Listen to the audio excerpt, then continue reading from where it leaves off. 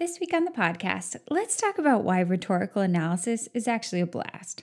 Sure, it sounds complicated to your students at first ethos, pathos, logos, rhetorical situations, logical fallacies, rhetorical techniques. Huh.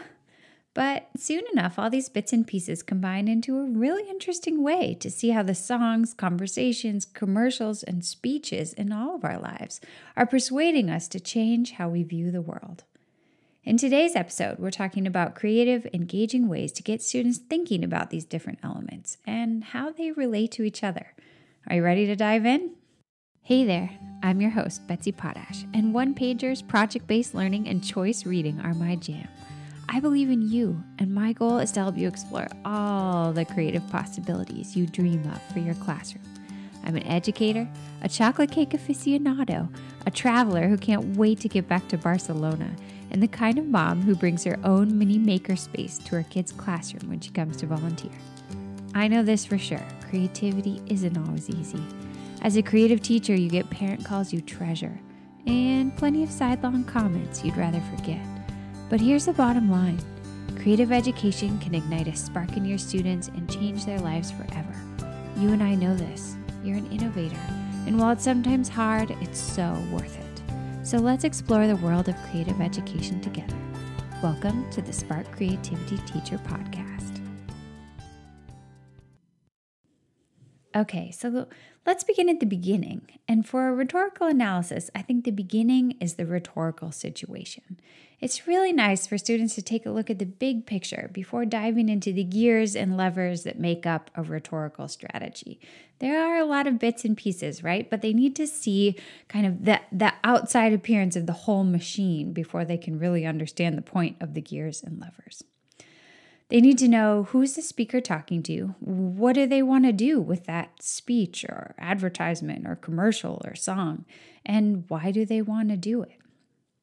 I like to think of a quick example for students around TikTok. What would it be like, I might ask them, if they were giving a speech about the future of TikTok and how it's going to work for businesses and marketers? And they were going to give that speech to say, a bunch of marketing executives who are in their 60s and don't have TikTok on their phones and just haven't grown up with that culture of TikTok around them. How are they going to convince those people that TikTok is really important and that they need it to market their businesses? Now, what if they're giving the same speech at a YouTube creators conference and they have a bunch of people who are making their living online through video creation? Both speeches are about the future of TikTok for business. But how different would both speeches actually need to be? right the the evidence may be the same i mean tiktok is growing powerfully millions of people are watching tiktoks but you have to play it really differently in both situations so that might be a way that I would just quickly introduce this idea of rhetorical situation. That, that the moment, the location, the audience, these things are all super relevant to how to persuade. And then there are a bunch of fun ways um, to work songs into your explanation of rhetorical situations. So let's go through a few. You're going to talk to students about the setup, um, which could mean some movie spoiling, but I've tried to choose some songs that I think most students will have either seen or not really care about by the time they hit secondary. So let's talk about a scene in Frozen. Have you seen the movie? When Anna thinks she's falling in love with Prince Hans, and Hans, of course, is just looking for a quick marriage and a lot of power. If you think about the song Love is an Open Door as something other than like a bright little fun poppy hit, and you actually think about Hans's motivation and getting Anna to want to marry him in one day, it really changes the whole song, right? So that's something you can you can play the song, you can talk to students. How does this go from chirpy little song to like weird power grab um, because of the situation? Now let's look at another one. There's a song from Aladdin. Maybe you grew up watching Aladdin like I did, but there's a remake that's that's uh, very popular now with Will Smith, and maybe you can play the song Prince Ali, where Ali is coming in. He's riding on like a huge elephant or camel, and he has all this huge parade around him, and the genie is singing Prince Ali. And he is trying to make the whole city think of Prince Ali as like the most important, most amazing, most wonderful prince in the world. And that's all you would get from the song if you didn't know the situation, right? But if you know the situation, you know that the genie has to do that because he's bound by this wish. You know that Ali is actually motivated um, by something very different. He's coming into the city. He's going to try to win the princess over, um, and he's he's masquerading as somebody that he's actually not. And so the song feels really different when you know all those things, when you know the motivation, um, when you understand the context. Okay, one more from Disney.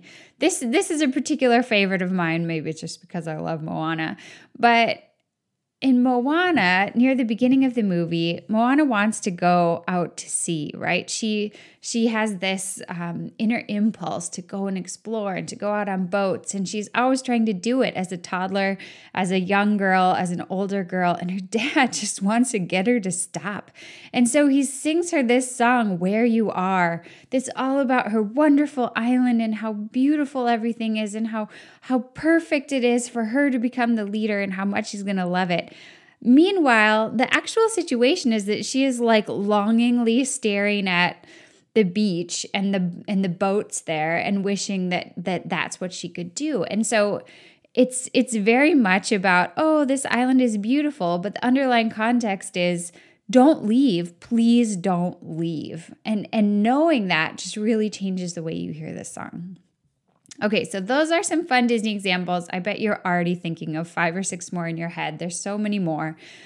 Um, there are also a lot of great songs from, you know, older kid movies, maybe more mature movies. If you feel like your students can handle it, maybe if they can handle seeing a character say one swear word or see a character have a drink at a bar, then you could then you could look at songs like My Shot from Hamilton or The Other Side from The Greatest Showman. And those also would provide really interesting conversations around rhetorical strategy and rhetorical situation. Okay, so leaving rhetorical situation behind for a second, let's talk about ethos, pathos, and logos and a fun way to just give students some quick practice with it. Okay, so you introduce the concepts, Ethos shows the credibility, the character of the speaker. Pathos plays on the emotions of the listeners. Logos uses logic and reason to make a case. These are these are fun things to play around with. You can pick apart speeches, of course, you can look for examples of these, but let's just talk about a quick way to get students using ethos, pathos, and logos in like a 15 minute class activity. And this is just going to be an elevator pitch. An elevator pitch is a big thing in the business world. Having sort of a prepared pitch ready that's like 60 seconds or 90 seconds, if you get the ear of a powerful business person or investor that you're going to try to get um, to believe in your idea or to try to get to believe in you and hire you, an elevator pitch is something many people practice honing um, and, and preparing to deliver. So you're you're introducing this concept. You're not going to go into all the details of the elevator pitch. You're not going to try to help students write the perfect elevator pitch. Um, but you are going to say, look, this this is a real thing that people often do. They try to come up with an argument, they try to deliver it really quickly to somebody powerful. Imagine you're doing the same kind of in this high school or middle school context. So, for example, maybe you have 60 seconds and you're riding the elevator downtown, you happen to be at the mall, and the president of the school board gets in the elevator with you you say to your students. And you have a new class you just really wish that the district would offer so you could take it. Whatever it is, your dream class. How can you, in the next 60 seconds, as you ride this elevator down from the top floor of the mall to the bottom floor of the mall with the school board president, how can you convince them to host your class in this district? And then tell them they need to use ethos, pathos, and logos. You can give them sort of a graphic organizer that just shows three bars. Maybe they start with ethos, move into pathos, and wrap up with logos. Or maybe they're taking their elevator pitch and they're trying to convince their parents to let them go on a three week school ski trip. And their parents are probably going to have a million reasons why three weeks is way too long to miss school. It's way too long to be away from home. Way they're going to miss this, they're going to miss that. But they need to try to convince them using ethos, pathos, and logos in 60 seconds. What powerful arguments can they use to get themselves onto this fun three week trip with their friends? Or maybe and this is my favorite example that I thought of. Maybe they've just met the owner of their absolute favorite candy store and they have this idea. They want the candy store owner to make them a brand ambassador for the candy store and send them to school every week with bags of candy from the store so that they can just be eating it really publicly around their friends and sharing it with other kids. And then pretty soon everyone will be like, man, I love that candy. I want to go to that store. And the student will get to have free candy every week for all of school.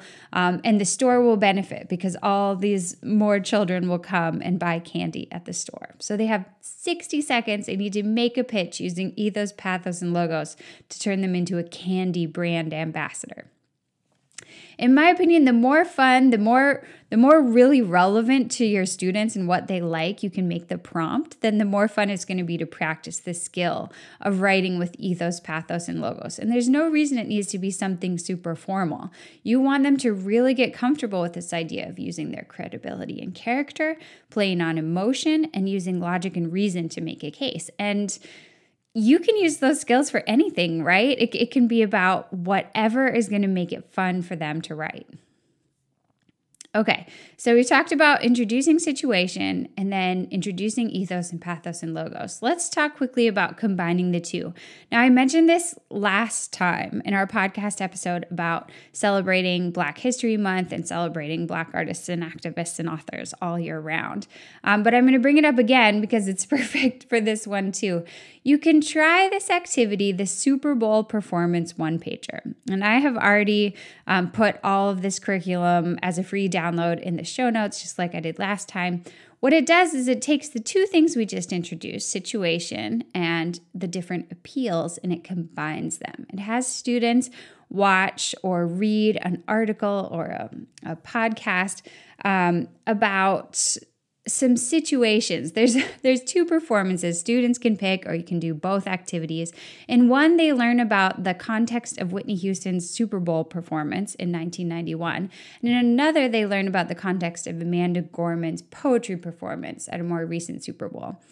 They learn the context and then they watch the video of the performance. And i've got to tell you that the difference when you understand the context before you see the video is just everything. It really brings home how powerful situation is. And then with that in mind, you start to look at the appeals and how they are really an extension of the of the performer's understanding of the situation. And so I like this as a next step. Once students understand the concept of situation, maybe through some fun songs, some fun examples, once they understand the, the varied appeals, then you can put the two together with this activity um, and really help them see how it all comes together. Okay, another idea, and this sort of just complements everything we've talked about so far, is to use your environment to help teach these concepts. And this is something I've really been thinking about a lot lately for like all content in English language arts or really in any subject. I have always been so fascinated by the Reggio Emilia system of early childhood learning that was developed in Italy. And if you have never heard of it and you don't know what I'm talking about, I really encourage you to do a little bit of Googling about Reggio Emilia because it's it's amazing the learning spaces that are created the the learning documentation the ownership that children have over their learning it just blows my mind. I was like so tempted to move to the countryside of Italy when my children were toddlers so that they could go to a Reggio Emilia school. But anyway, that's a bit of a tangent. In the Reggio Emilia system, the environment, the classroom environment is referred to as the third teacher. And I love this so much to have an environment that's so rich, that's so um, just full of complementary materials that help students think in new ways about what they're learning. I just love that idea. And I think that, you know, I've probably talked about this before, but I think that in the secondary world, it's it's widely less less of a focus than in the primary world to really consider how the environment can help influence learning. And if, if we can really learn from the primary world, it will benefit the kids so much. If I think about flexible seating and well stocked classroom libraries, and pleasant lighting, plants, beautiful bulletin boards. This is something I think that people of all ages will thrive with, right? Not just younger kids. Um, so if you're if you're thinking about how to bring the concepts of rhetorical analysis into the environment, I think you can easily create some really cool displays that relate to these concepts. You can make posters for pathos, ethos, and logos. You can have students create posters, maybe in groups or partnerships. This could be a fun way if you've been waiting for your opportunity to introduce them to Canva and teach some Canva skills, or if you'd like to teach them some layering skills on Google Slides. This is a fun chance for them to flex their multimodal composition skills, their their design skills to help them bring across a concept. So I've put some examples of posters for ethos and pathos in the show notes if you want to see a little bit. But I think you can really surround them um, with learning by by having by having some displays that relate to these things. And there are a lot of different ways that you could create an assignment around creating visuals for this. Um, the examples on the on the show notes are just one very limited example but however you think it would be fun to create um, kind of an installation around ethos pathos and logos in your classroom i think that would be really great. Okay We've covered a lot. The last thing I want to talk about is the idea of using game based learning at the end of a rhetorical analysis unit to help students kind of review it all and remember it all. So, I recently did a blog post, which I'm going to link in the show notes. It kind of walks you through creating a board game around any big ELA concept. And the one that I used as my example was a rhetorical analysis board game. So, you can check it out and see how I created a game around these concepts. It's kind of like Chutes and Ladders. Kids roll, they move their pieces around the board, they can land on squares that say ethos, pathos, logos, rhetorical situation, fallacy um, or they can land on these kind of problem ones that are like the um, the chutes and Chutes and Ladders. Like it, it will say, "Yikes! Your argument hit a slippery slope." You claimed a whole series of events would follow from the first one you mentioned, but where's your evidence? Slide back to the beginning. Um, and so they just they kind of go through they answer questions about the different concepts unless they hit a logical fallacy slippery slope or bandwagon fallacy that sends them back five squares or whatever. And it's just like a fun way um, to help them go over all the different things from the unit. But there are a lot of different games that you could use. You could Kahoot it up if you haven't Kahooted lately. You could try. I I recently stumbled upon Jennifer Gonzalez's fun game called Crumple and Shoot, and I'm going to link you to a quick video in the show notes. This is a fun game where you have kids in groups. Um, and they, they have to write down their answer to a question that you read. And if they get it right, then somebody in the group, like somebody from every group could could do this. If they all got it right, that's fine. They take the correct answer, they crumple it up on their little piece of paper that they wrote the answer on, and they get to try to shoot it into a basket in your room. And if they do shoot it correctly, their team gets a point. so the group collaborates to come up with the answer. Then they choose a shooter who brings the ball up, the ball of paper, shoots it into the basket, um, and tries to get a point anyway i'm gonna i'm gonna link you to the video if that was too fast of a description but i think that could be really fun for a rhetorical analysis you just put down some questions get kids into a group Another one that could be fun would be like an old school Jeopardy board on your smartboard or whiteboard where kids can just say, like, you know, I'll take logical fallacies for 500 or I'll take rhetorical situation for 200. And you just kind of give the two teams points or the three teams points based on whether they get the questions right on the Jeopardy board. I, I was just thinking about how much I used to like playing Jeopardy at school the other day, and I haven't thought about it in so long. I've, I, I think of it as just something automatic that everyone's already doing, but then I realized I haven't done it in a really long time, and just because I enjoyed it in school, maybe it's kind of fallen out. So anyway, that would that would still be in my opinion, a very fun thing to do. Um, and it would work well with rhetorical analysis. Okay, We've covered a lot. I hope you found a new strategy that complements the wonderful ways I'm sure you're already teaching rhetorical analysis. There are so many possibilities. I'm going to leave you today with a final challenge. I've never done this before, but my friend Angela Stockman shared the most interesting video with me last year. I'm just really intrigued by it, and I think it has lots of possible classroom uses. It's called This is a Generic Brand Video. And I'm not going to say anything more about it. I think that you should go into the show notes and watch it. It's like two or three minutes. And I feel like it's a fantastic springboard for some kind of project or activity for rhetorical analysis and how persuasion is also influenced by multimedia by like the songs playing by the by the images in front of you while you're listening to words but i i just can't quite decide how i would want to use it i can't put my finger on exactly a project or an activity around this is a generic brand video. So, my challenge for you today is to go into the show notes, watch this is a generic brand video, and then in the comments, share an idea. How could we use this to teach rhetorical analysis? Because it's just so intriguing, but I can't decide. Thank you so much for joining me today.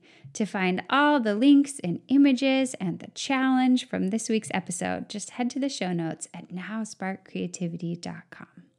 Until next time, take care of yourself and stay creative.